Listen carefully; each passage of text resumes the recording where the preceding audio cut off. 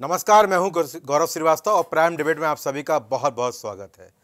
इस समय उत्तर प्रदेश में मानसून सत्र की शुरुआत हो चुकी है और पहला दिन स्थगित रहा क्योंकि समाजवादी पार्टी धरातली संघर्ष पर उतर आई है। धरना किया गया, प्रदर्शन किया गया और उस प्रदर्शन के माध्यम से जगे हुए लोगों में और उत्साह बनने का यहाँ पर प्रयास किया गया। साथ ही साथ, आज जब दूसरा दिन सदन का शुरू हुआ तो वहाँ पर विपक्ष और सत्ता पक्ष में तीखी नोकझोंक भी हुई। अखिलेश यादव रणनीति के मुताबिक सरकार पर हमलावर रहे। स्वास्थ्य व्यवस्थाओं को लेकर, बेरोजगारी को लेकर उन्होंने सरकार को घेरने का पूरी तरह प्रयास किया। तो वहीं मुख्यमंत्री योगी आदित्यनाथ ने भी अपनी हमेशा की तरह एक व्यवस्था दिखाते हुए और कहा कि सरकार का अब तक का कार्यकाल बहुत अच्छा रहा है। कोरोना जैसी महामारी के समय भी अर्थव्यवस्था को मज़बूत किए रहना अधिक संख्या में लोगों को इलाज मुहैया कराना, ये सरकार की उपलब्धियाँ हैं और जिसका गुणगान केवल केवल भारत में नहीं बल्कि वैश्विक परिदृश्य पे भी हो चुका है। कई देशों ने योगी मॉडल की तारीफ़ भी की कोरोना के समय। और ये तारीफ़ केवल केवल मीडिया ही नहीं बल्कि कई बड़े अखबार समाचार पत्रों में छपी हुई है। पर इसके साथ साथ जो हम देख रहे हैं कि यहाँ पर जैसे चुनाव पास आ रहे हैं, निकाय चुनाव की बात करें या 2024 के चुनाव की बात करें बयानों की जो गति है वो लगातार तेज होती जा रही है। और ख़ास तौर से कुछ ऐसे बयानवीर हैं जो लगातार बयानों के माध्यम से चर्चा में बने हुए हैं। ऐसे बयानवीर की अगर हम बात करें तो सुभाषपा के राष्ट्रीय अध्यक्ष ओम प्रकाश राजभर, जो कि आज फिर बयान दिए। उन्होंने कहा कि अखिलेश को अगर अपने चाचा शिवपाल सिंह यादव की इतनी सीट की चिंता थी तो उनको अपनी सीट दे देनी चाहिए थी। तो वहीं उन्होंने सपा को दल विरोधी बताया और ये भी बताया कि जिनका जो धरना है, ये महज की नौटंकी था। तो मनोज पांडे, जो कि समाज पार्टी के सचेतक हैं, उन्होंने भी सुभाषपा पर प्रहार करते हुए कहा कि ओम प्रकाश राजभर हर तीन घंटे में बयान बदलने वाले नेता हैं और ऐसे नेताओं के बयानों की कोई तवज्जो नहीं होती है। ये हर घंटे में बयान बदलते रहते हैं, इसलिए इनके बयानों को कतई संजीदगी से ना लिया जाए। फ़िलहाल सत्र हंगामेदार रहा और जो नोकझोंक बताती है कि आने वाले समय में चुनौती और कठिन होगी। कुछ बयान सुनते चर्चा को आगे बढ़ाते हैं। माँ जिसने बच्चे को जन्म दिया, बोतल चढ़ रही थी, गलत इंजेक्शन लगा दिया, उस माँ की उसी समय जान चली गई। क्या मेडिकल निग्लिजेंस की वजह से जाने नहीं जा रही? क्या मेडिकल निग्लिजेंस की वजह से लोगों की किडनियाँ नहीं खराब हो रही हैं? ये सरकार जो दावा करती है, झोला छाप जो डॉक्टर हैं झोला छाप डॉक्टरों की नहीं, दवाई चलने देंगे। ये खुद माननीय मंत्री बन गए हैं, छापामार मंत्री। राज्य के अंदर इंफ्रास्ट्रक्चर के कार्य हों, बेहतरीन शिक्षा के केंद्र खोलने के कार्य हों, प्रदेश के अंदर स्वास्थ्य की बेहतरीन सुविधा को उपलब्ध करवाने की कार्रवाई हो, या फिर प्रदेश के हर गाँव को बेहतरीन कनेक्टिविटी देने, इन सभी कार्यों के लिए धन की कोई कमी नहीं है। राज्य सरकार के पास संसाधन भी बड़े हैं, राजस्व में भी वृद्धि हुई है। कोरोना जैसी महामारी का सामना करते हुए भी राज्य सरकार ने पूरी मजबूती के साथ अपनी अर्थव्यवस्था को भी सुदृढ़ करने का प्रयास किया है। पिछली सरकार भाजपा की भी यहाँ से प्रस्ताव पास करके भेज दिया, लेकिन दिल्ली में सरकार है भाजपा की, वहाँ भी पास नहीं हो पाया, जिसको हाई कोर्ट ने निरस्त कर दिया।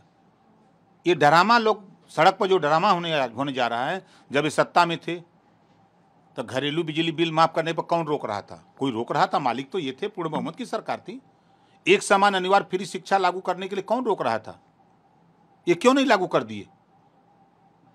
जब पुलिस की भर्ती हो रही थी, तब इनको कौन रोक रहा था कि कश्यप को, बिंद को, राजभर को, चौहान को, पाल को, प्रजापति को, कुमार को, नाई को, गोड़ को, खरवार को, बिहार को, आरक को बंसी बंजारा, बहलिया, खंगार को, जुल्हा दुनिया अंसारी, साई दर्जी, फकीर को अब भर्ती करो। कौन रोक रहा था? तभी किसको भर्ती कर रहे थे? कोई है समाजवादी पार्टी का नेता बताने वाला?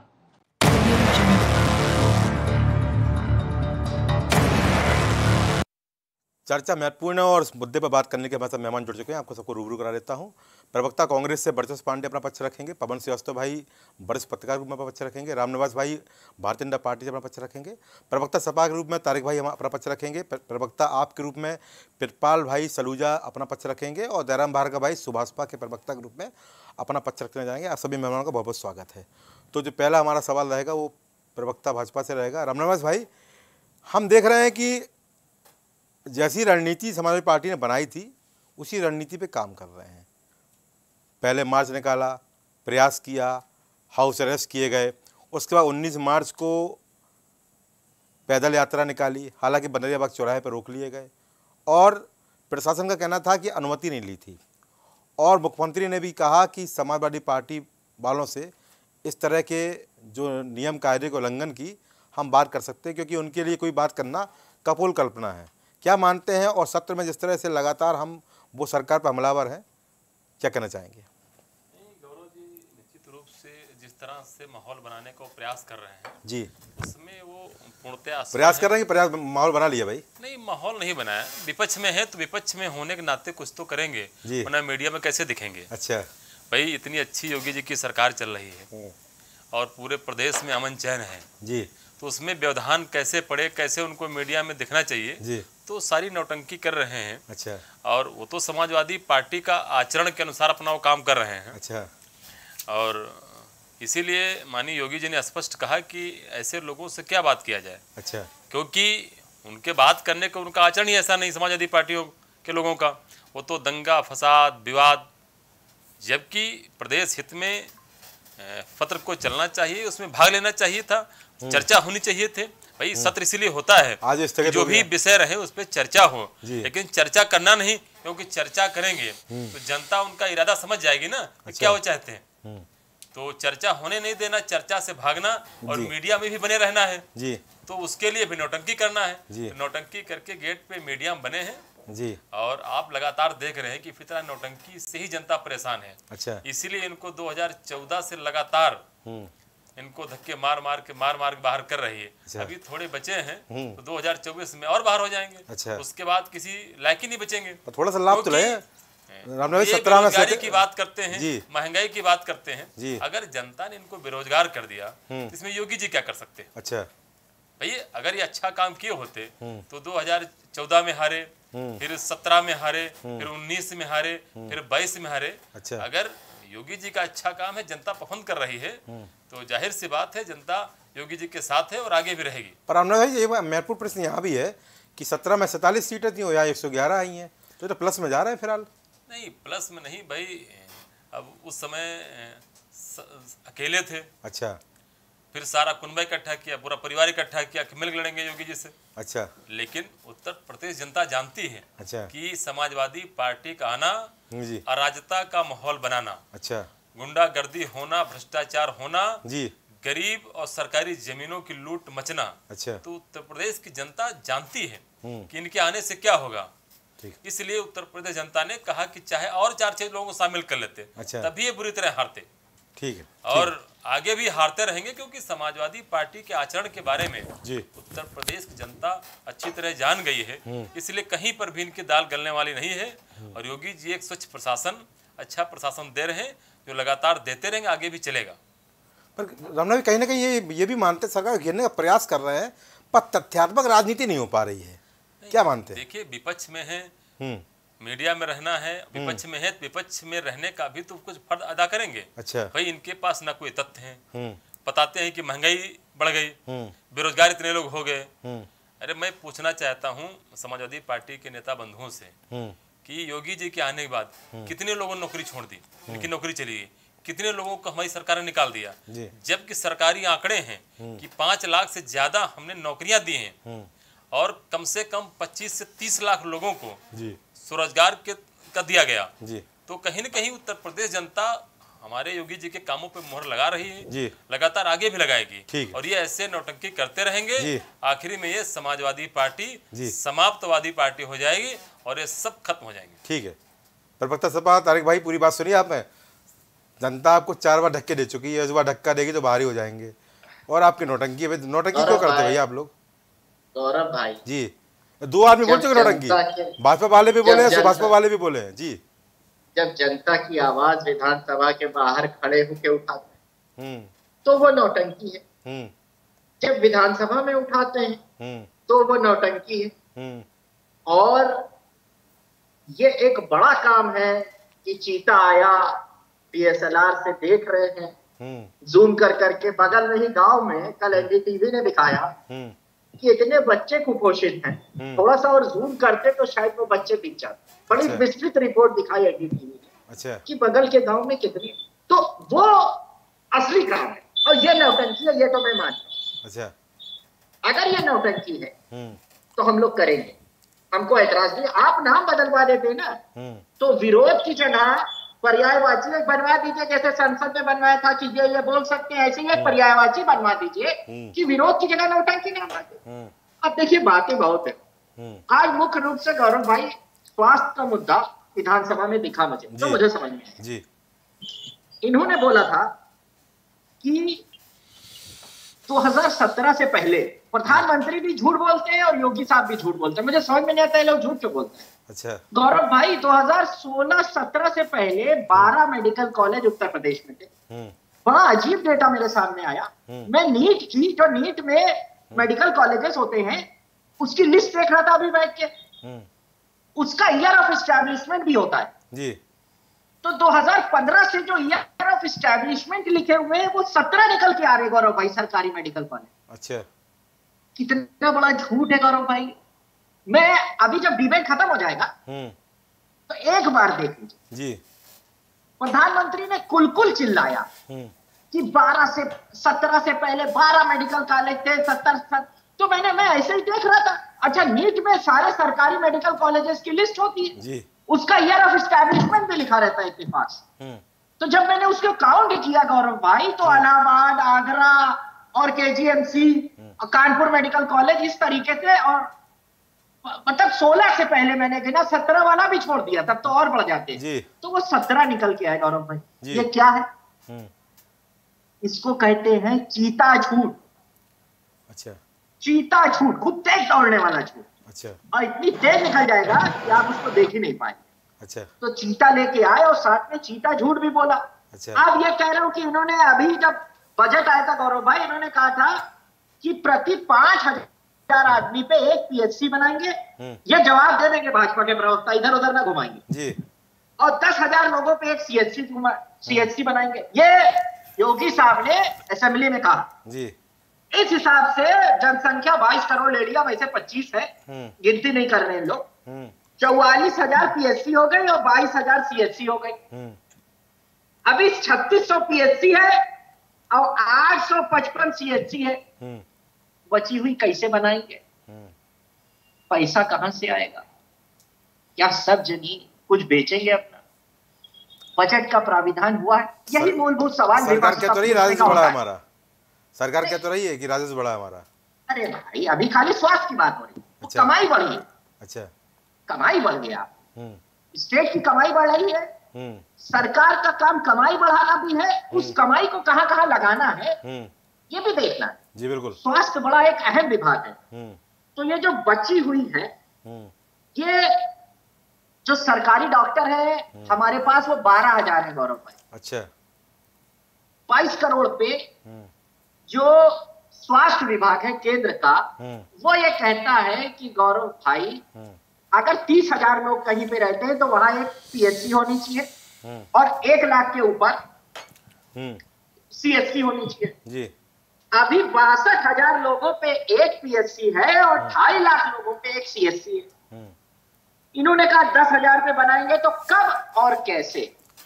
वैसे इसका जवाब भाजपा प्रवक्ता बिल्कुल नहीं देंगे। वो क्या बताएँगे? हम्म लॉ एंड ऑर्डर औरंगज़ेब और नेहरू और बच्चे हैं गलती ये सब बताएँ। स्वास्थ्य अच्छा। कितना गंभीर इश्यू है। अच्छा। और अखिलेश यादव साहब ने सीतापुर का भी मुद्दा उठाया। अच्छा पर ये मुद्दा की मुद्दा आज सत्रह को उठाया गया। जी। बड़ी अहम बात है। जी, बड़ी। अहम बात है गौरव जी, बोलिए। योगी साहब ने असेंबली में कहा कि समाजवादी नियमों का पालन नहीं करती। यही तो कहा ना। हाँ बिल्कुल कहा है। इस नियम के तहत गोंडा में हम्म। कस्टोरियल डेथ में एक लड़के को मार डाला। हम्म। नियम है कोई मारने का? हम्म। सरकार बताए। पुलिस तो आप ही के डिपार्टमेंट में आती है। हम्म। गृह आप ही के पास है। जवाब दीजिए। कि दो फीट की टोटी से नोट लटक के किस नियम के तहत कोई आदमी मर जाता है? जी। और किस नियम के तहत? ठीक है। पुलिस कस्टडी में लोगों को जान से मार डाला जाता है। कोई नियम है? जी ठीक है। कोई नियम है? ठीक है। कोई नियम नहीं। तो नियम की बात आप करते हैं जवाब लेता हूँ। मुँह का मुँह काला इन लोग का जवाब जवाब जवाब लेता हूँ। हमारे साथ बरजस पांडे मौजूद हैं कांग्रेस से। बरजस भाई सत्य की शुरुआत हो गई है। हालाँकि यहाँ पर जो चर्चा आपके संगठन की भी है, क्योंकि निकाय चुनाव आने वाले हैं, तैयारी कैसी है रणनीति कैसी है, क्योंकि समाजवादी पार्टी तो धन्ना के माध्यम से, सत्य के माध्यम से अब अपने आप को स्थापित करने में लगी हुई है कि जनता को हम दिखाना चाह रहे हैं कि हाँ अब बात होगी और सरकार अगर गलत करती नज़र आएगी तो सरकार को घेरने का पूरा प्रयास करेगी। कांग्रेस की क्या रणनीति है? प्रदेश अध्यक्ष है नहीं, राष्ट्रीय अध्यक्ष है नहीं, जोड़ो यात्रा पाँच महीने चलनी है। कैसे आप लोग मज़बूत होंगे उत्तर प्रदेश में? गौरव भाई जैसा कि जी। मैं आपकी बात का जवाब देने के पहले मैं भाजपा के अपने प्रवक्ता साथी का बड़ा ही दिल से धन्यवाद करना चाहूँगा अच्छा। कि इन्होंने दो बात एक्सेप्ट की। पहली तो ये कि विपक्ष है तो काम सड़क पे तो आएँगे ही तो इन्होंने मान लिया आज कि विपक्ष है। इनके सभी नेता कहते हैं कि विपक्ष है ही नहीं। अच्छा। और दूसरी बात ये कह रहे हैं कि योगी जी जो इतना जल्दी सारा काम कर नहीं पाएँगे। खैर। अच्छा। जहाँ तक कांग्रेस की बात है कल हमारी जो प्रदेश कांग्रेस कमेटी के जो संगठन है जिसके सदस्य डेलीगेट्स बनाए गए हैं जिसके माध्यम से होने वाला चुनाव है उसकी कल बैठक थी। राष्ट्रीय अध्यक्ष के चुनाव होना है। राष्ट्रीय अध्यक्ष के चुनाव के लिए और साथ में प्रदेश अध्यक्ष को भी बनाना है। तो उसमें अच्छा। हमारे तरफ़ से यही प्रस्ताव पारित हुआ कि हम प्रदेश अध्यक्ष बनाने के लिए अपने राष्ट्रीय अध्यक्षा श्रीमती सोनिया गांधी जी को अधिकृत करते कि वो जिसे भी चाहे उसे हमारा प्रदेश अध्यक्ष बनाए उनके नेतृत्व में हमारा प्रदेश काम करने को तैयार है। और राष्ट्रीय अध्यक्ष के लिए हमने एक सर्वसम्मति से एक विधेयक पारित करके भेजा कि हमारे नेता आदरणीय श्री राहुल गांधी जी को कांग्रेस पार्टी का पुनः राष्ट्रीय अध्यक्ष बनाया जाए। ठीक है।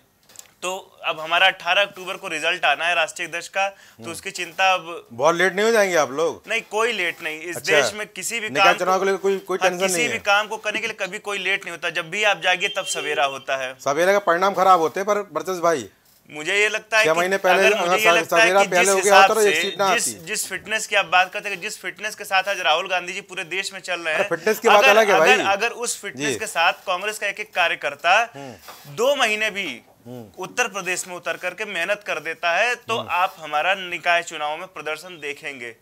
बड़ा ही बेहतरीन दिखने वाला है और हमेशा हमारा प्रदर्शन बेहतरीन रहा है। तो दो महीने कब शुरू हमारा जो मुद्दा है अक्टूबर में शुरू हो जाएँगे। अच्छा टूर शुरू हो जाएँगे। हमारा जो मुद्दा है इस निकाय चुनाव में वो सीधा सीधा है कि हमारे जो झूठ मंत्री हैं अच्छा। भारत सरकार के झूठ मंत्री आदरणीय श्री प्रधानमंत्री नरेंद्र मोदी जी हैं हाँ। जो अक्सर ही हर बात में झूठ बोला करते हैं। उन्होंने चीता को लेकर गुजरात में कुछ और झूठ बोला था आज केंद्र में है तो तो कुछ निकाय चुनाव में उनके झूठ- उनके उनके उससे क्या मतलब है मैं बताऊँ निकाय चुनाव में हमारा जो मुद्दा है हाँ। जिस प्रकार से आज अडानी हम्म। 2014 में 609वें स्थान पर थे आज 2022 में तीसरे स्थान पर आ गए हैं। वहीं भारत विश्व के भूख सूचनांक में 2014 में पचपनवें स्थान पर था। 2022 में 101वें स्थान पर चला आया है।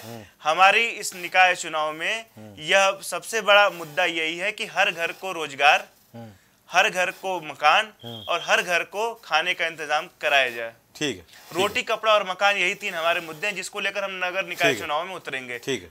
ठीक है। हमारे साथ प्रवक्ता आपके रूप में सरोजा भाई जुड़े हुए हैं।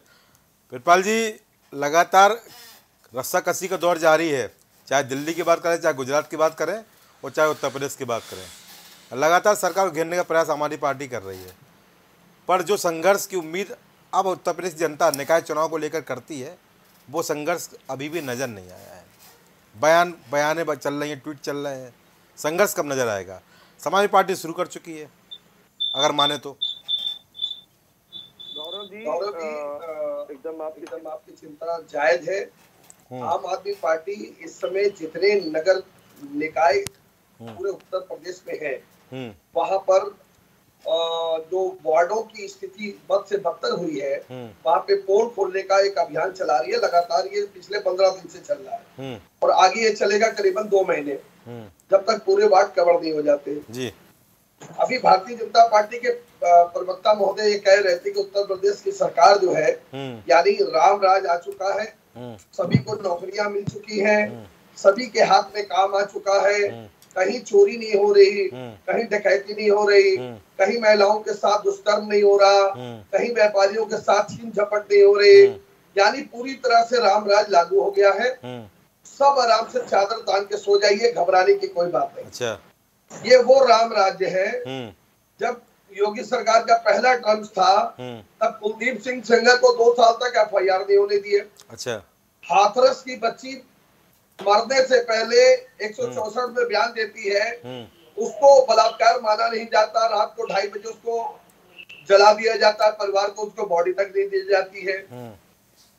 इस तरह की घटनाएँ हम्म। चिन्मयानंद जो गृह राज्य मंत्री हुआ करते थे सेंट्रल गवर्नमेंट में अटल बिहारी वाजपेयी की सरकार में हम्म। उस पर एक बच्ची लांछन लगाती है वो आज जेल के बाहर है वो बच्ची आज जेल के अंदर है। हम्म। अभी हफ़्ता नहीं निकला दो बच्चियों के साथ दुष्कर्म करने के बाद उनको पेड़ पे लटका दिया गया बाद में पुलिस जागी और उन लोगों को पकड़ा। व्यापारी रात दिन जो जो हमारे कर्म जो सरकारी पदाधिकारी हैं हम्म। जिनके ऊपर जिम्मेवारियाँ हैं व्यवस्था चलाने की उनके द्वारा दोषण दोहन किया जाता है उनका। उत्तर प्रदेश के अंदर थाने के अंदर कोई बच्चा अगर उसके घर से उसको लाया जाता है थाने के अंदर उसकी मृत्यु हो जाती है। हम्म। ये सब करने के बाद हम्म। ये राम राज किस भाषा में इसको कहा जाएगा ये गौरव जी मेरे समझ से परे और आपके समझ से भी परे और जितने पैनलिस्ट बैठे सभी के समझ से परे है। अच्छा। उत्तर प्रदेश में बद से बदतर व्यवस्था हो चुकी है। बारह लाख चौसठ हज़ार सरकारी नौकरियाँ हैं उत्तर प्रदेश के अंदर। इसमें से चार लाख पैंसठ हज़ार नौकरियाँ भी रिक्त चल रही है। छब्बीस हज़ार जो सरकारी स्कूल थे, वहाँ पे ताला लगा दिया गया है। वहाँ पे गौ चराने वाले लोग वहाँ पे गाय और भैंस को रखने लगे हैं। डर के हमारे बच्चे उस बिल्डिंग के नीचे बैठते नहीं थे। छत कहाँ से टूट रही है, कहाँ से पानी बह रहा है, कहाँ से पूरी दीवारें गिर रही है। शिक्षा का स्तर बद से बदतर हो चुका है। हम्म। अस्पतालों में पानी चला जा रहा है। मरीज़ जहाँ पे भर्ती है वहाँ पे पानी कमर भर पानी वहाँ पे बढ़ रहा है। छत छू रही है। हम्म। वहाँ पे डॉक्टर नहीं है। अभी अभी सपा के प्रवक्ता ने इस बात को बताया आपको कि उत्तर प्रदेश के अंदर मात्र बारह हज़ार डॉक्टर है। हम्म। आप इन बारह हज़ार डॉक्टरों से उत्तर प्रदेश की चौबीस करोड़ की आबादी को कैसा इलाज दे पाएँगे? हम्म। हम अगर दिल्ली के अंदर अच्छा काम करते हैं हम्म। दिल्ली का स्वास्थ्य मंत्री सत्येंद्र जैन अच्छा काम करता है हम्म। तो उस पर एलिगेशन लगा के उसको जेल में ठूस देते हो। हम्म। दिल्ली में अगर अच्छा काम करते हैं तो मनीष सिसोदिया को जेल में भरने का प्रयास करते हो। अमानत खुल्ला खान अगर अच्छा काम कर रहा था उसको उठा के आप जेल में तो वहाँ तो कोई कोई बरामद हुआ था अपने भाई। मंत्रियों को नहीं आपके मंत्रियों के ऊपर जो इल्ज़ाम लगता है वो जेल नहीं जाते गौरव जी। जी। भारतीय जनता पार्टी के उत्तर प्रदेश में इक्यानवे जी। इक्यानवे करोड़ रुपए। जी। कस्तूरबा गांधी महिला इंटर कॉलेज के नाम पर कोरोना काल में निकाला आज तक एसआईटी उसकी जाँच नहीं कर पाई। अच्छा। एक्स ले लीजिए। जी। आप चाहे ऑक्सीमीटर ले लीजिए। हम्म। ठीक है। थर्मोमीटर ले लीजिए सबके ऊपर करीबन 20 गुना ज़्यादा खरीदारी की गई जवाब लेता हूँ। जवाब लेता हूँ। राम मंदिर के नाम पर इन्होंने चंदा चोरी की। जी। उस पे संजय सिंह ने पूरे साक्ष्य दिए। जी। वो आज तक ठीक है, हो गया। हो। अयोध्या विकास प्राधिकरण ने इस जब- बात को जवाब लेता हूँ जवाब लेता हूँ जवाब लेता हूँ जवाब लेता हूँ। ठीक है हमारे साथ दयाराम भाई जुड़े हुए हैं सुभाषपा से दयाराम भाई ओम प्रकाश राजभर जी लगातार बयान देते रहते हैं सपा के प्रदर्शन को नौटंकी बताते हैं सपा को दलित विरोधी बताते हैं। तो मनोज पांडे बोलते हैं कि वो हर तीन घंटे में बयान बदलने वाले नेता हैं। तो पहले गलबैया मेला के प्रचार होता है बाद में गठबंधन टूट जाता है तो बयानबाजी होती है। क्या माने? मनोज पांडे के बयान पर क्या कहना चाहेंगे? देखिए समाजवादी पार्टी के कथनी करने में उतना अंतर है जितना रामायण में राम और पहले अंतर समझ में नहीं आया था क्या? पहले अंतर समझ में नहीं आया था। बता रहा हूँ बताइए। समाजवादी पार्टी हाँ। की कथनी करने में हम्म। इतना अंतर है जितना रामायण में राम और रावण की कथा है। अच्छा। उसको साक्ष्य बताता हूँ। हम्म। आप अगर हम्म। जो जनता आपको चुन करके लखनऊ के विधानसभा में भेजा है तो आप विधानसभा में सवाल करेंगे या सड़क पे लाओ लश्कर के साथ चलेंगे? अच्छा। जब आपकी सरकार थी देखो मुद्दा कितना अच्छा है। प्रदेश में एक बहुत बड़ा मुद्दा था। हाँ। मुद्दा को तो ये लोग बोलते ही नहीं है। अच्छा। उत्तर प्रदेश में जो है भू माफियाओं के खिलाफ कार्रवाई करने का आदेश जो है हम्म। योगी सरकार ने दिया। हाँ। कार्रवाई हो रही है हम उसका स्वागत करते हैं। अच्छा स्वागत लेकिन भू माफियाओं के आड़ में हाँ। जो गरीब कमज़ोर लाचार के घरों को गिराया जा रहा है उसकी हम प्रार्थना करते हैं। हम्म। और ये मुद्दा बहुत बड़ा है। अच्छा। विपक्ष को इस मुद्दे को उठाना चाहिए। तो आप विपक्ष में नहीं आते क्या? कि जिस आप विपक्ष में नहीं आते क्या? गरीब का केवल मकान बना हाँ। हुआ है हम्म। क्या मेरी आवाज़ जा रही है आपके पास? जी बिल्कुल आ रही है। बोलिए। जिस गरीब का बंजर में ज़मीन बना हुआ है हम्म। वहाँ पे जो बुलडोजर जा रहा है क्या उसकी आवाज़ नहीं तो होना आप-? आप नहीं उठाएँगे आवाज़ को? कह रहे कि- जी सपा के काम है विपक्ष में नहीं आते क्या? जी। अब सुनिए तो आप उठा दीजिए। बात तो सुनिए हाँ। मैं वही तो समझा रहा हूँ। बोलाइए। जब ये सरकार में थे हम्म।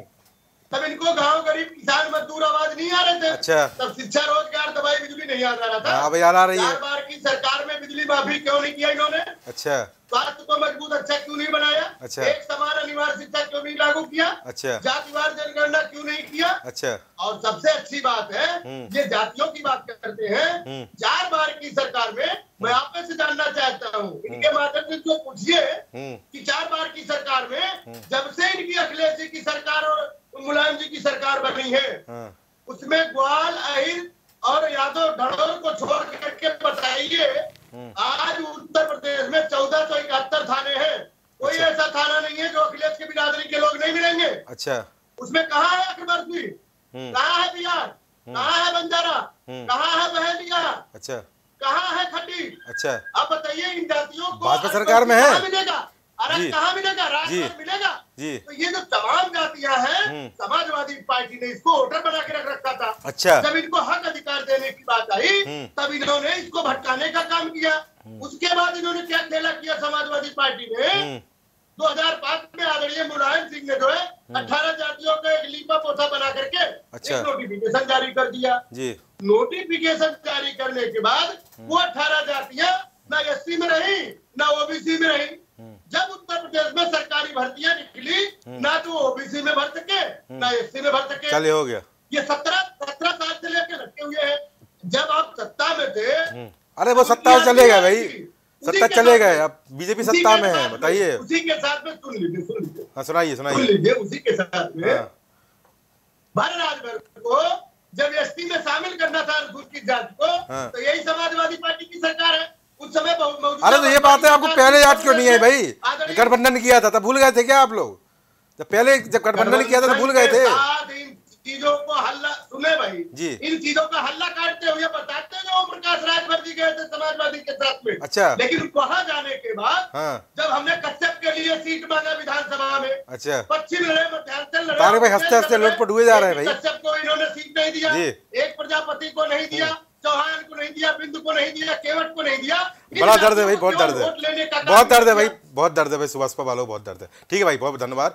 हमारे साथ पवन भैया बैठे हुए हैं बरस पत्रिका में। पवन भाई सब देखा है सबकी बातें सुनी मूल्यांकन किया है। सुभाषपा के बयानों का मूल्यांकन देखें या सत्तर के घमासान की बात करें या धन्य की बात करें। कोई नोटंकी बोल रहा है तो कोई बयानवीर हो रहा है क्या कहना चाहेंगे? गौरव जी जी। ये स्वार्थ है। जी। और ये राजनीतिक दल हमारे बीच में जो भी बैठे हैं चाहे समाजवादी पार्टी हो जी। चाहे भारतीय जनता पार्टी हो हम्म। चाहे ये भार्गव जी की जी। राजभर जी की पार्टी हो। जी। तो खास करके तो अगर हम भाजपा को थोड़ा सा भी किनारे करेंगे हम्म। तो जो सपा का और इनका गठबंधन हुआ था हम्म। राजभर जी का जी। ये स्वार्थ के बल पर हुआ था। अच्छा, दोनों का स्वार्थ था। अच्छा। सरकार बना लेंगे अखिलेश यादव सीएम हो जाएँगे इनको सब कुछ दे देंगे। बहुत सारे बड़े बड़े मंत्रालय मिल जाएँगे। अच्छा। आपको याद होगा चुनाव होने के बाद भी ये दूसरे एक दूसरे के थे। जी। भरपूर थे। जी। वो ऐसा कोई शब्द नहीं इस्तेमाल था जो। आदित्यनाथ के लिए ना कहा गया और भाजपा के लिए ना जी, बिल्कुल। ठीक है। अब आज इनको कमियाँ दिख रही हैं। कमियाँ केवल सिर्फ़ एक है। अभी सुरक्षा वगैरह मुहैया ही हो गया है। आप हम्म। अच्छा, अच्छा। सब जानते जी, हैं, बिल्कुल। ठीक है। अब भाजपा से हो सकता है कुछ तालमेल बन रहा हो। अच्छा। ये भी हो सकता है। हम्म। कुछ कहा नहीं जा सकता क्योंकि एक महागठबंधन की तैयारी जो कांग्रेस कर रही है जी। कांग्रेस की अगुवाई में जो एक महागठबंधन आएगा हम्म। वो हो सकता है मजबूती से लड़ाई भी लड़े। जी। लेकिन ये सब धराशायी हो जाएँगे। महागठबंधन और इस सब क्योंकि ये सब स्वार्थी हैं अच्छा। जितने राजनीतिक दल हैं। अगर हम आज से बहुत ही दिन बाद हमने अखिलेश यादव जी को देखा तो अब हम पसंद तो नहीं करते हैं ये सच्चाई है। लेकिन आज हमने बहुत ही दिन बाद उनको सदन में जी। आवाज़ उठाते हुए क्या बात है। पहली बार हमने उनको आवाज़ उठाते हुए देखा। नहीं तो कोई मतलब किसी एक कार्य जो है उनका विकास के नाम पे प्रदेश के नाम पे होता ही नहीं था। जी। ठीक है। आज लेकिन उनको हमने देखा चाहे गोंडा जनपद की बात करें एक सीएससी ब्लॉक मुजहना वहाँ पे है। वहाँ पे एक नन्हे बच्चे की जान चली जाती है। उसमें उस प्रकरण में जो हमारे पत्रकार बंधु खबर लिखते हैं उनको एफआईआर उनके ऊपर लिखी दी जाती है। ब्रजेश पाठक जी जाते हैं जाँच के लिए लिखते हैं जाँच क्या होता है कोई निर्णय अभी तक सामने नहीं आया है ठीक है। दूसरा उसी जनपद की बात करें दिन दिहाड़े हत्या हो जाती है एक नवाबगंज में हो गई समझिएगा मेरी बात को आप?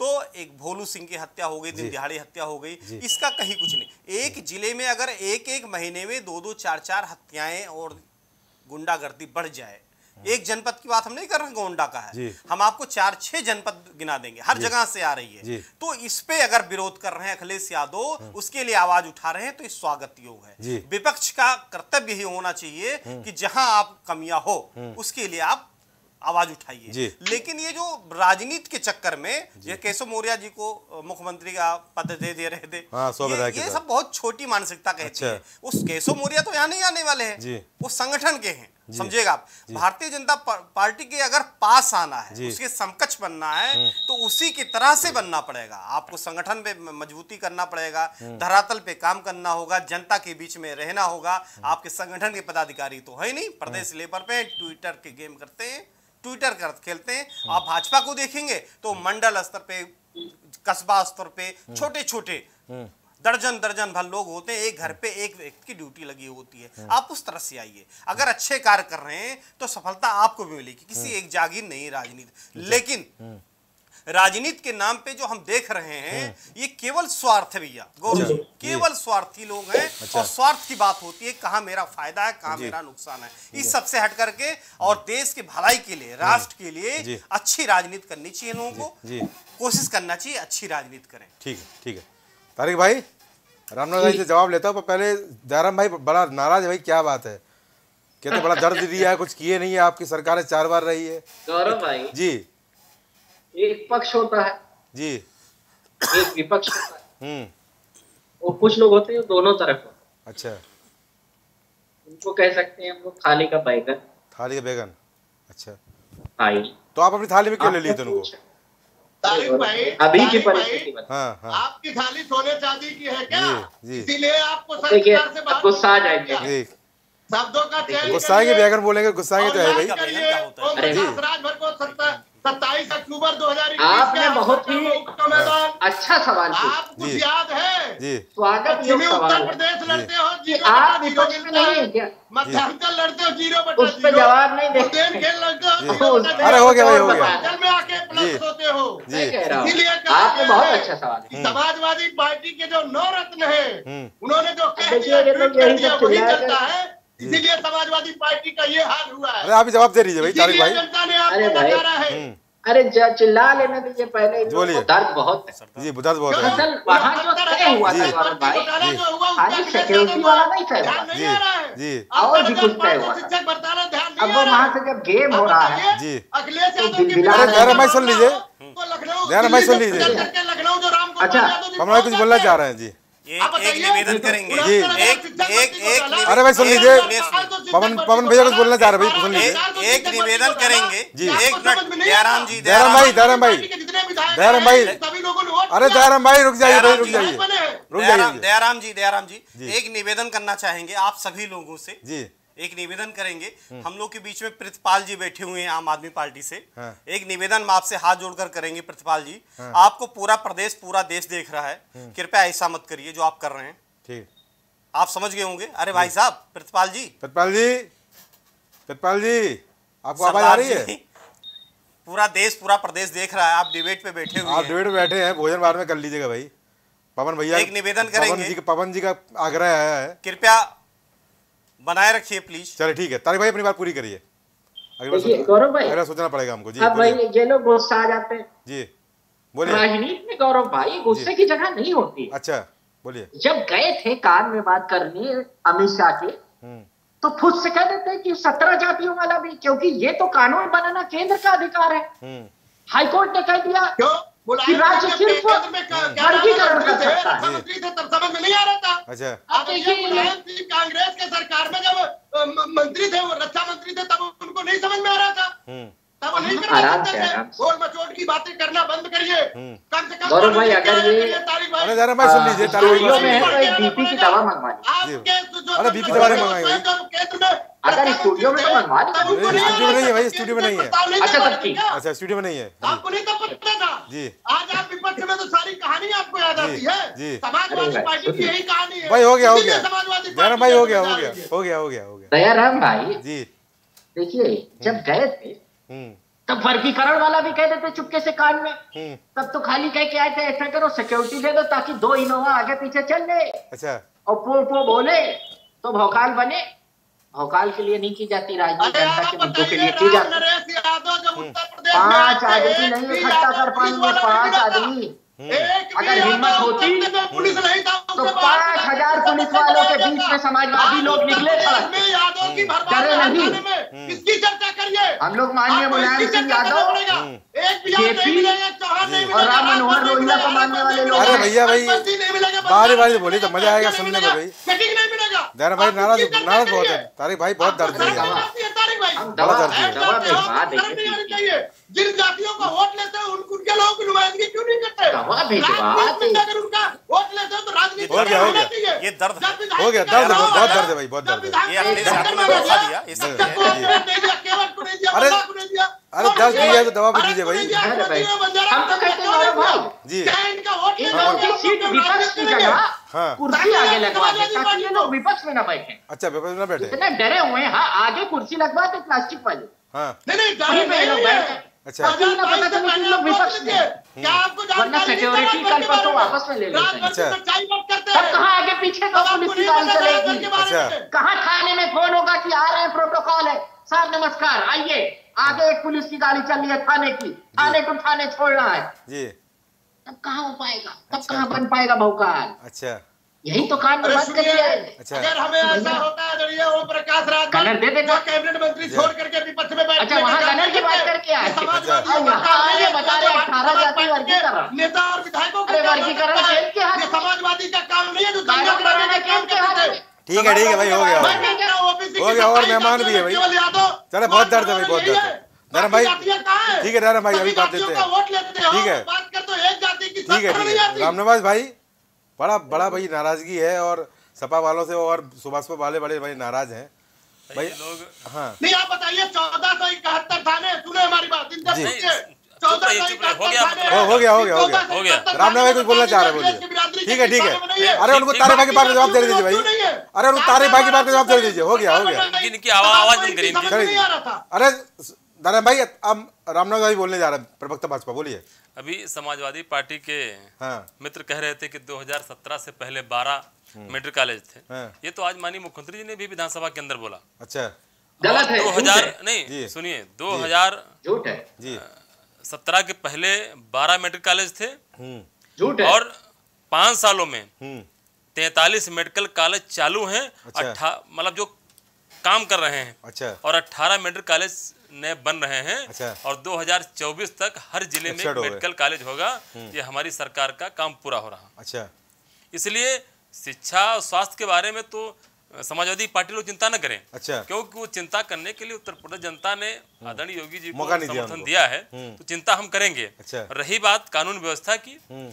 तो समाजवादी पार्टी के लोग अच्छी तरह जानते हैं कि इनकी सरकार में अपराधी अपराध करने बाद छाती खोल सड़कों पर घूमता था। अच्छा। लेकिन किसी अपराधी की हैसियत नहीं अपराध करके सड़कों पर घूम गया तो उसकी छाती पर पुलिस गोली चलती है। ये समाजवादी पार्टी में नहीं था। इनके हाथ अपराध करिए खुलेआम घूमिए। अच्छा। और किसी समाजवादी पार्टी नेता की गाड़ी में बैठ लीजिए तो फिर पुलिस को भी मारिए। अच्छा। लेकिन उत्तर प्रदेश में योगी जी के आने के बाद किसी भी अपराधी की हैसियत नहीं है। कि अपराध करने के बाद वो खुलेआम घूम ले। या तो उसके सीने पर गोली पड़ती है या वो जेल जाता है। और कोई जगह नहीं। अच्छा ठीक है। और अभी जी, बोलिए। आम आदमी पार्टी के कह रहे थे कि उत्तर प्रदेश कुछ है ही नहीं। अच्छा। ये बता बता बताते रहे वो रामराज आप बेवकूफ़ बना रहे बता रहे ये हैं। ये राजनीतिक हाँ। बेशरम लोग हैं अच्छा। इनको हम कह सकते हैं। हम्म। बताते हैं कि हमारे दिल्ली में विद्यालय अंतर्राष्ट्रीय स्तर लेवल बने हैं। हाँ। एक विद्यालय के नाम नहीं बता सकते हैं जिनको केजरीवाल जी ने बनवाया हो। लेकिन भाई बता दीजिए भाई। एक विद्यालय। नियम नाम बता सकते हैं। हम्म। और बताएँगे क्या? कि अड़तालीस हज़ार स्मार्ट क्लासेस। हम्म। और ये कर दिया वो कर दिया लेकिन पूरे दिल्ली में एक विद्यालय नहीं बनाया ना उन्होंने। और अभी ओम प्रकाश राजभर जी के साथी बहुत बेचारे परेशान थे। तो परेशानी निश्चित रूप से है कि योगी जी की सरकार में मंत्री थे। हम्म। इन्होंने गड़बड़ किया। योगी जी ने उनको बर्खास्त करके बाहर कर दिया। अच्छा। फिर जाके पैर पकड़े अखिलेश क्या गड़बड़ कर दी थी भाई? कि जो है हमको शामिल कर लीजिए। अच्छा। वहाँ भी कुछ दिन गाड़ी वाड़ी सब इनको मिली थी तमाम पैसा वैसा इनको मिला था। अच्छा। अब वो लगा कि यहाँ भी नहीं काम बना। हम्म। फिर वहाँ से छोड़ के योगी जी के पास आने लगे। लेकिन जब उत्तर प्रदेश जनता ने आपके गठबंधन को नकार दिया। और हमारी पूर्ण बहुमत की सरकार है तो हम क्यों आपको शामिल करेंगे? अच्छा। आप जाइए क्योंकि ओपी राजभर जी राजनीतिक अविश्वसनीय स्वार्थी और नौटंकी बाज नेता है। अच्छा। ऐसे नेताओं की उत्तर प्रदेश में कोई ज़रूरत नहीं है। अच्छा। क्योंकि अभी आप हम सुरक्षा न देते नहीं तो चारों तरफ़ चिल्लाते जी। कि हमारी हत्या हो जाएगी ये तो और गड़बड़ हो हत्या क्या हो जाएगी? भाई इतने बड़े माफिया के साथ कंधे से कंधा मिला के चल रहे हैं। तो उनके साथ रहें और ये योगी जी की सरकार है। जी। गड़बड़ करने का प्रयास करेंगे जी। तो ठीक हो जाएँगे। अभी तो स्वागत कर रहे हैं भैया और- आप क्यों आप लोग क्यों इस तरह बोल रहे हैं भाई वो कह रहे हैं बहुत अच्छा काम हो रहा है स्वागत कर रहे हैं। सच्चाई बता देनी चाहिए हाँ। भाई जिस प्रकार से ये खुलेआम आरोप लगा रहे हैं कि एक भी यादव थानेदार नहीं। हाँ। अरे एक बार सोच लीजिए योगी जी की सरकार है यहाँ कोई जाति धर्म सरकार नहीं चलती है। यहाँ सबका साथ सबका विकास सबके विश्वास सरकार चलती है। अच्छा। हर ज़िले में यादव अधिकारी मिलेंगे हर लगभग अनुपात के हिसाब से हर ज़िले में थानेदार मिलेंगे। जी। अब इनको नहीं दिखते हैं। अब योगी जी को बदनाम करने की आवश्यकता आपको नहीं है। जी। क्योंकि बिना आपके सहारे के भी हम सरकार में थे वो तो भारतीय जनता पार्टी की बदौलत ये नेता बन गए। अच्छा। वरना पूरी ज़िंदगी से लड़ते लड़ते बुढ़ापा आ गया। अच्छा। कभी विधायक नहीं बने थे। अच्छा। तो इसलिए योगी जी को जनता ने जिताया है। जवाब ले लेते और उत्तर प्रदेश में योगी जी की सरकार जी जवाब ले लेते हैं निश्चित रूप से जनता के हितों में काम कर रही है और सबके साथ किसी जाति धर्म की बात नहीं कर रहा हूँ। जैसे बार बार यादव यादव अरे यादव कस के वंशज हैं। जो। राष्ट्र के लिए काम करता है यादव उसके साथ रहता है। ठीक है ठीक अगर भारतीय जनता पार्टी राष्ट्र के लिए काम करती है तो यादव उनके साथ भी है और भाई समाजवादी पार्टी लोग उनको अपना अधिकार समझते हैं कि ये हमारे हैं लेकिन आपने देखा है चार चुनावों में इनको आईना दिखा दिया। अच्छा। इसलिए यादव समाज पे टिप्पणी करने से अच्छा है कि आप देखिए कि जो लोग राष्ट्र की धारा में जुड़े हैं उनके साथ रहिए उनका है। काम होने दीजिए। ठीक है। जयराम भाई रामनिवास भाई की बातें सुनी आपने? उन्होंने कहा कि आपके नेता नौटंकीबाज हैं इस तरह करते रहते करते रहते हैं। अविश्वसनीय हैं। एक तरह भैया आप उनकी स्वागत कर रहे हैं तो एक तरफ़ आपको विश्वसनीय बता रहे हैं। क्या कहना है भैया? नहीं आप ये बताइए ओम प्रकाश राजभर मैं फिर बता रहा हूँ। जी। ये जो कुछ भी कहें ओम प्रकाश राजभर स्वयं छोड़े थे कि योगी जी ने निकाला था? अब तो कुछ बताएँगे। इनको भी हमारे जो जानकारी नहीं होगी लिखे ले, समझ ले फिर इनको बता रहा हूँ। जी। हमने लोकसभा के चुनाव में अप्रैल में ही छोड़ दिया था। अच्छा। हमने लखनऊ का कार्यालय आपको जानकारी नहीं, बर्खास्त किए गए थे। तो ये तो कह रहे बर्खास्त किए गए थे भाई। अब इनको देखिए मेरी बात सुनिए। इनको जब अगर जानकारी नहीं है कुछ भी के दूसरी बात मैं इनसे ही जानना चाहता हूँ। भाजपा की सरकार है साढ़े पाँच साल से। हाँ। अभी आप देखिए हर राज्य भर को जो है हम्म। तीन अप्रैल 2022 को हम्म। इलाहाबाद हाई कोर्ट ने यह आदेश दिया था कि उत्तर प्रदेश की सरकार केंद्र सरकार मिलकर दो महीने के अंदर में जो है अनुसूचित जात में शामिल करे। हम्म। तो हमारे साथी ये बता दें ये इलाहाबाद माननीय इलाहाबाद हाई कोर्ट के आदेश का उल्लंघन है कि नहीं है? हम्म। इस पे जवाब नहीं देंगे? हम्म। जो तथ्य कोई बात होती है उसको कहाँ जवाब देते हैं? दूसरी बात उनहत्तर हज़ार शिक्षक भर्ती की बात हो अड़सठ हज़ार पाँच सौ शिक्षक भर्ती की बात हो बारह हज़ार जो साठ जो है शिक्षक भर्ती की बात हो इसके इसमें जो खामियाजा अनियमितता पाई गई केंद्रीय जो पिछड़ा वर्ग आयोग ने माना हम्म कि वाकई में पिछड़ों के साथ जो धोखा हुआ है अच्छा। उत्तर प्रदेश की सरकार ने माना कि बयानबाजी क्यों नहीं होती। भाई? अगर इस बात को हम प्रकाश बयानबाजी क्यों नहीं करते हैं? तो इनके पेट में गुड़गुड़ी होती है अच्छा। इसलिए गुड़गुड़ी होती है स्वागत कर रहे। अब जो गुड़गुड़ी हो रही है बोलिए बोलिए। मैं मैं फिर कह रहा हूँ। मैंने कहा है आपको मैं फिर अपने बात पे कायम हूँ। हम्म। उत्तर प्रदेश सरकार ने जो भूमाफियाओं के खिलाफ कार्रवाई करने का जो आदेश जारी किया स्वागत है। मैं स्वागत करता हूँ। अच्छा। मैं फिर कह रहा हूँ। लेकिन आपने लास्ट का सुना नहीं लेकिन भूमि भूमाफियाओं के आड़ में गरीब कमज़ोर लोगों के घरों को जो दहाया जा रहा है उसकी मैं भर्सना करता हूँ। और वो उसकी चर्चा करता हूँ कि जो गरीब बंदर में केवल उसका मकान है आप बताइए आज के साठ सत्तर साल पहले जो। बंजारा है केवल उसका छप्पर का मकान है जी, बिल्कुल। उससे कागज़ मांगोगे कागज़ दिया जाएगा क्या? नहीं मिलेगा बिल्कुल। आप बताइए उसके मकान को उठाया जा रहा है मैं उसकी चर्चा कर रहा हूँ। सरकार काम करे हम स्वागत करते हैं। समाजवादी काम करती थी उसका तो इसके लिए मांग क्यों नहीं कर रहे आप लोग लेकिन अगर बात आती है जी। मैंने कहा अगर बात आती है हम्म। तो किलेटी जो मैंने बताया उसको बताया मेरे भाई। अनियमितताएँ क्या है? अरे दयाराम भाई होनी चाहिए जब ना। आप जब आप बता रहे हैं कि इतना गलत सरकार कर रही है तो आप लोग मांग कब उठाएँगे? कब इसके लिए कूदेंगे कब इसके लिए मांग उठा रहे आप बताइए। हाँ। आप बताइए हमने उन्नीस में उठाया हमने बाईस में उठाया तीन साल हो गए भाई उन्नीस को रहे, तीन साल हो गए। हाँ। मेरी बात सुनिए हम आवाज़ हम सरकार में हैं। नहीं। सरकार विपक्ष में तो है। आवाज़ उठा रहे नहीं उठा रहे? विपक्ष में है कि नहीं समाजवादी पार्टी चिल्ला रही है। जी। आज समाजवादी पार्टी चिल्ला रही है। दो हज़ार बाईस से पहले समाजवादी पार्टी क्यों नहीं चिल्ला रही थी? हम्म। तब तो ट्विटर ट्विटर खेल रही थी। अच्छा। तब तक ये समझ रही थी हम सत्ता में आ रहे थे। अच्छा। आज सड़क पे आने का काम कर। आपको जनता ने चुना है तो सदन में। बताइए ना। सपा पे क्यों आ जाते हैं भैया? सपा पे क्यों आ जाते? हैं? शिक्षक भर्ती के ऊपर क्यों नहीं चर्चा किया? आप बताइए। बहुत दर्द है सपा से भाई बहुत दर्द है। ठीक है भाई हो गया। हो गया हो गया हो गया। हो गया बहुत दर्द है भाई। तारिक भाई घूम के सफ़ाई पे आते हैं भाई कोई बात नहीं कोई बात नहीं। प्रवक्ता कांग्रेस वर्सेस भाई जुड़े हुए हैं युवाओं की क्या भूमिका रहने वाली है? देखिए आप युवा हैं निश्चित रूप से। हमारे देश में कुछ दिन पहले चीतों की बहुत ज़्यादा ही चर्चा चली है। उसके ऊपर मैं उन चीतों का नाम जो इस सरकार ने रखा है वो मैं आपके सामने रखूँगा फिर अपनी बात रखूँगा। जी बोलिए। मोदी सरकार जो चीते लाई है उनका नाम है पहले चीते का नाम है बेरोजगारी अच्छा। दूसरे का नाम है महँगाई आप रखे तीसरे का नाम है। गरीबी चौथे का नाम है भूखमरी पांचवे का नाम है सांप्रदायिकता छठवे का नाम है नफरत अच्छा। सातवें का नाम है हिंसा और आठवें का नाम है दमन। अच्छा। तो ये इनके आठ चीते हैं जिनके दम पे ये पूरे देश में सांप्रदायिकता भड़का करके फूट डालो अंग्रेज़ों की नीति पे क्योंकि हमेशा ये अंग्रेज़ों की आइडियोलॉजी फॉलो करते रहे हैं अच्छा। जब अंग्रेज़ी अंग्रेज़ी हुकूमत की महारानी जब इस देश को इस दुनिया को छोड़कर जाती हैं तो हमारे देश के झंडे को झुकाकर उनके सम्मान में झुकाया जाता है। ये इनके अंग्रेज़ी मानसिकता को दर्शाता है और इस बात की पुष्टि करता है तो कि ये जिसको फॉलो करते हैं। सावरकर को फॉलो करते हैं जिसको पेंशन अंग्रेज़ी सरकार देने का काम की थी वो किस लिए की थी अब ये सबके सामने खुलकर आ गया है। अच्छा। आपने रोज़गार की बात की। ये योगी सरकार जो है पाँच लाख करोड़ का खर्चा करके बहुत बड़ा टेंट लगा करके और बहुत बड़ा आयोजन करके ढोल पीटते हुए इन्वेस्टर समिट की। उस इन्वेस्टर समिट का नतीजा आज तक क्या निकला? एक भी एक भी इन्वेस्टर समिट में आया हुआ व्यक्ति अभी तक रोज़गार की उम्मीद लेकर के उत्तर प्रदेश में नहीं आया है। अच्छा। युवाओं को प्राइवेट सेक्टर में रोज़गार मिला ही नहीं है। अच्छा। जहाँ तक ये पाँच लाख युवाओं के रोज़गार की बात करते हैं उसमें कितने सारे मामले आए पेपर लीक से लेकर के बहुत सारे मामले उसमें इन लोगों ने कोई कार्रवाई नहीं की। और मनमाने ढंग से उसमें नियुक्तियाँ कर डाली और जिनका हक था उनको उनका हक नहीं मिला। मैं तीसरी बात आपको बता दूँ जंगल राज की। इनकी सरकार में जंगल राज इस कदर बढ़ चुका है कि महिलाओं के ऊपर अत्याचार जिस प्रकार से बढ़ा उसमें यूपी नंबर वन हो चुका है। क्राइम में नंबर वन हो चुका है। क्यों आवाज़ उठा रहे हैं? कहाँ आवाज़ उठा रहे हैं? हर जगह पे आवाज़ उठा रहे हैं। कहाँ आवाज़ उठाए भाई? आप बताइए हम कहा आज जब भी कोई भी अत्याचार हुआ यूपी में यूपी में कोई भी जहाँ भी अत्याचार हुआ वहाँ सबसे पहले आवाज़ उठाने के लिए कोई गया तो कांग्रेस पार्टी कहाँ पर निगासन में बता रहा हूँ प्रियंका गांधी नहीं।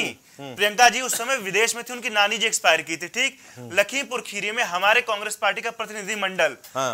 सतीश आजमानी जो कांग्रेस पार्टी के उपाध्यक्ष रहे हैं हाँ। और कोषाध्यक्ष हैं हाँ। वो वहाँ पर गए क्योंकि वो उसी कॉन्स्टिट्यूएंसी से आते हैं अच्छा। उनके बाद हमारी आदरणीय नेता विपक्ष जो हैं श्रीमती आराधना मिश्रा जी हाँ। वो वहाँ गई और वहाँ पे दो दो लाख रुपए उस परिवार को देने का अनाउंसमेंट भी करके आई हाँ, ऐसा तो है नहीं कि हमने क्यों नहीं अच्छा, दिए अच्छा। दे दिए अच्छा। उसके बाद जहाँ तक भू माफिया की बात है राम मंदिर का मामला जिस प्रकार से उठा वहाँ पे ज़मीन की खरीद फरोख्त जिस प्रकार से की गई थी वो किसी से छुपा नहीं है और माफिया राज इस कदर यहाँ पे है कि माफिया एक विशेष जाति का हाँ, होता है तो क्रिकेट खेलता है। जी। और उस तरीके से माफियाओं के नाम पे अगर कोई और विशेष जाति का होता है तो उसकी उसका घर गिरा दिया जाता है।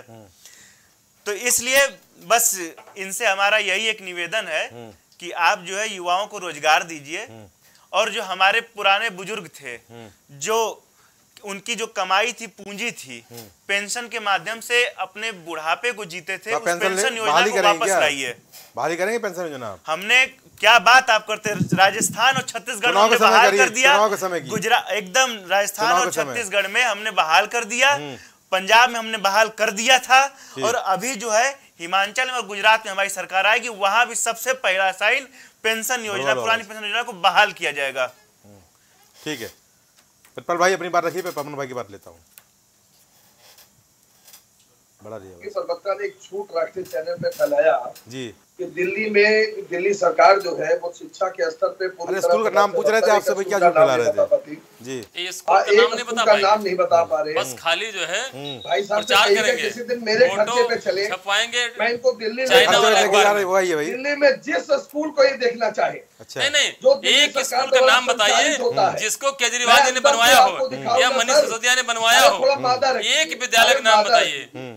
अरे मादा रखिए सुन लीजिए दिल्ली का पूरा सच सुन लीजिए। खर्चे पे लेके जा रहा हुआ ही दिल्ली में एक हज़ार चालीस हो- हो गया स्कूल ये। गौरव जी दिल्ली सरकार चलाती है। अच्छा। नहीं नहीं बनाया कितने हाँ। वहाँ पे सत्रह सौ स्कूल जो है हो हैं, भारतीय जनता पार्टी बनाया? हम्म। फ़ोटो अब छपवानी आ होगी जाऊँ वहाँ पे क्या तो छपवाएँगे जो है न्यूयॉर्क टाइम्स में। उत्तर चाइना वाले प्रदेश से। में और अच्छा। दिल्ली की सरकार में क्या फ़र्क है? विद्यालय का नाम तो दोनों बताइए। सरकारों को लगभग साढ़े पाँच साल हो। हो चुके हैं। गौरव जी।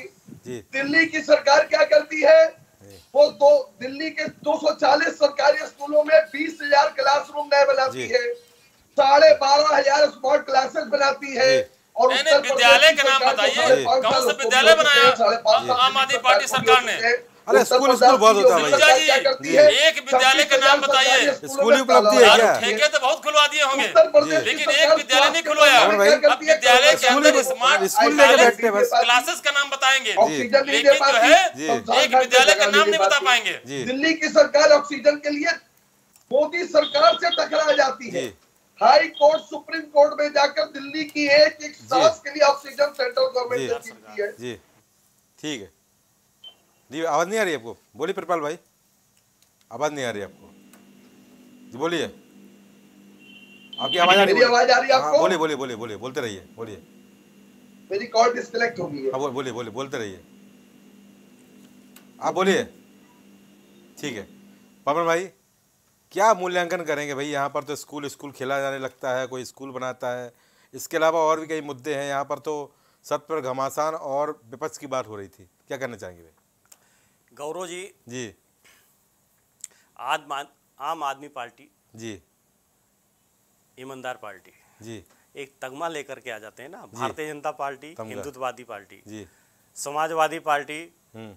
अल्पसंख्यक पार्टी समझेगा यादव पार्टी अल्पसंख्यक पार्टी ये सब लेकर के आते हैं। स्वार्थ के कारण सिंपल एक ही शब्द है और कुछ नहीं है। अच्छा लेकिन अभी हम चर्चा कर रहे थे। कांग्रेस के प्रवक्ता महोदय को हम सुन रहे थे। जो अपने वर्चस्व के लिए लड़ाई लड़ रहे हैं। जी। और अभी आपका एक छोटा सा क्वेश्चन था। जी। क्योंकि भारतीय झंडा आधा दिन के लिए झुकाया गया था। एक दिन के लिए आधा झुकाया गया। जवाब ही आप ही देंगे। जी। जी। जी। ये आज भारतीय जनता पार्टी है। जी। कांग्रेस पार्टी होती समाजवादी पार्टी होती कोई हाँ, भी होता हाँ। वो एक दिन के लिए आधा झंडा झुकाया ही जाता। रीजन है इसका। क्राउन एक्ट 1707 जी। इसके तहत लगभग चौवन देश लगभग नहीं कंफर्म फिफ्टी राष्ट्र- जो राष्ट्रमंडल में आते हैं। जी जी राष्ट्रमंडल में आते हैं चौदह चौवन देश आते हैं। ये सभी झुकाए जी। तो उसको हम लोग आप इंगोन नहीं कर सकते हैं जो। हम लोग दायरे में बधे होते जी। हैं। तो ये जानकारी होनी चाहिए। दूसरी चीज़ आज ये है कि आज कांग्रेस जो है कि ये जो हालत हुई है जी। धरातल पे न होने के कारण जी। नहीं तो ये समाजवादी पार्टी सुभाषपा आम आदमी पार्टी इनकी आवश्यकता नहीं थी समझेगा? क्योंकि जनता जब उब जाता है किसी एक पार्टी से तो दूसरी तरफ़ जाता है। आज भारतीय जनता पार्टी को हम देख रहे हैं शासन बहुत बढ़िया चल रही है। शासन का तात्पर्य विकास की योजनाएँ हेल्पलाइन बहुत अच्छी चल रही हैं सुरक्षाएँ अच्छी चल रही हैं। लेकिन इसी सब के बीच में एक कड़ी जो है उस पर देखना होगा। उसे हम लोग बेरोजगारी कहते हैं। जी। ठीक है। रोज़गार की व्यवस्थाएँ करना। हमें आपको याद है जब उत्तर प्रदेश की पहली सरकार बनी थी आदित्यनाथ योगी जी की जी। पहला वर्ष हुआ था तो फ़र्स्ट इन्वेस्टर समिट हुआ था। पाँच लाख करोड़ रुपया उसमें आया था समझेगा? कहाँ लगा कहाँ इन्वेस्ट हुआ अभी एक सप्ताह पूर्व भी हमने माननीय मुख्यमंत्री से मुलाकात किया था। तो उसमें बहुत सारे उद्योग प्रवासी हैं जो बाहर रहते हैं उनका प्रतिनिधिमंडल मिला था। अब उनकी भी फ़ाइल अभी लटकी हुई है। शासन स्तर पे। ध्यान दीजिएगा। अगर आप उनको सहूलियत नहीं देंगे तो आपके यहाँ रोज़गार के मेला क्यों लगाएँगे? क्यों लगाएँगे? क्यों अपने यहाँ व्यवस्थाएँ देंगे? इस सब पे देखना होगा लेकिन अगर और लोगों से हम तुलना करें जी। अगर हम पिछले 25 साल 30 साल की तुलना करें तो एक जंगल राज हुआ करता था। अभी समाजवादी पार्टी की ने कहा है नेताजी ने कहा है आम आदमी ने भी कहा है जंगल राज। लेकिन उस समय जंगल राज हुआ करता था। आज कहीं ना कहीं वो राज है जो हम आप नहीं कह सकते। जी। भाई साहब खुद कह सकते हैं भी आम आदमी पार्टी ने बताया है। जिसे रामराज पार्टी कहा जाता है। तो कहने का तात्पर्य यह है कि आपको मेहनत करना पड़ेगा। धरातल पे काम करना होगा। आप धरातल पे काम करेंगे तभी कुछ भला होने वाला है अन्यथा भला नहीं होने वाला है। सुभाषपा और अखिलेश यादव जी ये दोनों के बीच में जो तालमेल में गड़बड़ हुआ है ठीक है उसके पीछे केवल एक ही टूट गया गड़बड़ क्या हुआ पवन भैया टूट ही गया। हाँ, गड़बड़ गड़बड़- की थी? जी हमने बताया भी था आपको हाँ। चैनल पे ही बताया था हाँ। कि बस ये एक सप्ताह का और मेहमान है टूट गया था। अब वो जो भी हम लोग कोई भविष्यवक्ता तो नहीं है लेकिन दिखाई पड़ता है। अब ये जो प्रथम इस समय जो दृष्टि चल रही है इस समय का जो माहौल चल रहा है उस समय महागठबंधन बन के आएगा 2024 से पहले ही निश्चित है। अच्छा। समझिएगा। अब 2024 में जो महागठबंधन बन के आएगा जी। उसको कमज़ोर कैसे किया जाए? जी। समझिएगा सर? जी। ये उसकी प्रक्रियाएँ चल रही हैं। हो ठीक। सकता है आम आदमी पार्टी भी बढ़िया मेहनत कर रही है वो भी आए लेकिन ईमानदार जो तगमा लगाए होते हैं एक एक मकान 18 बाई 40 का जो उन्होंने स्कूल बना रखा है जिसने बनाया है वो 46 लाख रुपए का पैंसठ लाख रुपए का अरे 45 लाख रुपए हमको दे दो हम आपका हवेली बना देंगे सर। जी। आप बेवकूफ़ बनाते हैं लोगों को। जी। उसकी जांचें होनी चाहिए। भारतीय जनता पार्टी से तो हम यही कहेंगे। सरकार से कहेंगे किसी पार्टी की बात नहीं है। ऐसी विद्यालयों का जाँच कराइए कि कहाँ से बन गया इतना पैसा कहाँ लग गया भाई। ठीक ठीक है। आप सभी मेहमानों का बहुत जुड़ने के बहुत बहुत धन्यवाद। तो यहाँ पर चर्चा थी विधानसभा सत्र के घमासान पर और जिस तरह से समाजवादी पार्टी लगातार सरकार को घेरने का प्रयास कर रही है।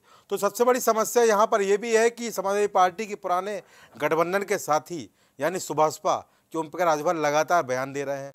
और लगातार उनकी नीति भी अब जहाँ एक तरफ़ विपक्ष सरकार को घेरने का प्रयास कर रहा है तो वहीं दूसरी तरफ़ विपक्ष के पुराने साथी अब विपक्ष को घेरने का प्रयास कर रहे हैं।